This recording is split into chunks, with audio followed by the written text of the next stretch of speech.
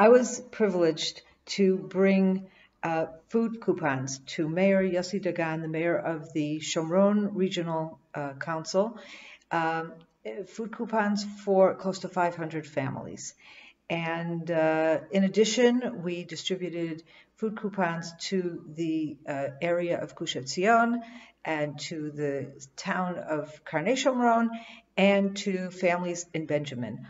All of these are support and food coupons in addition to what we usually give at this time of year to help needy families um, with the Passover holidays. Because of the coronavirus, we are in a major, major crisis with people losing their jobs, people uh, being laid off.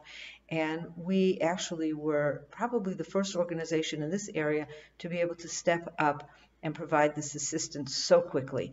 Uh, we're continuing to raise these funds, but um, this was our first opportunity to really do something quickly and practically to help.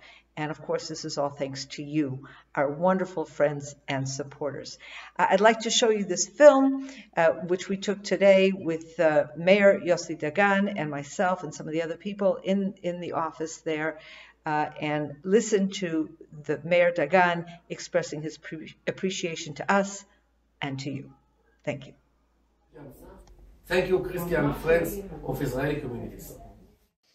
אני רוצה להודות לסנדרה ברז, שהיא חברה אמיתית שלנו, ועם לב גדול והרבה הרבה מקצועיות, מסייעת ליישובים רבים בשומרון, מסייעת לכל כך הרבה אנשים באין ספור תחומים, מרווחה וביטחון ורפואה ופרויקטים של גני שעשועים, ובכל דבר שצריך, יישובים רבים נעזרים בה, והכל מהלב. אני רוצה להגיד לכל מי שעוזר לה להגשיל, להיות שותפה איתנו בבנייה של השומרון, שהוא גם שותף, והיא גם שותפה בבנייה של השומרון, ובזמן כזה, בדור כזה, שהקדוש ברוך הוא נותן לעם היהודי לקיים את דברי הנביאים, ירמיהו ויחזקאל ועמוס, ולבנות את ארץ ישראל, ולבנות את השומרון, מי שזוכה לעזור לסנדרה להיות שותפה איתנו בבנייה הזו, הוא שותף. הקדוש ברוך הוא בזמן כזה, אלוהים מסתכל מי עזר לעם ישראל לעשות את דברי הנביאים ומי לא.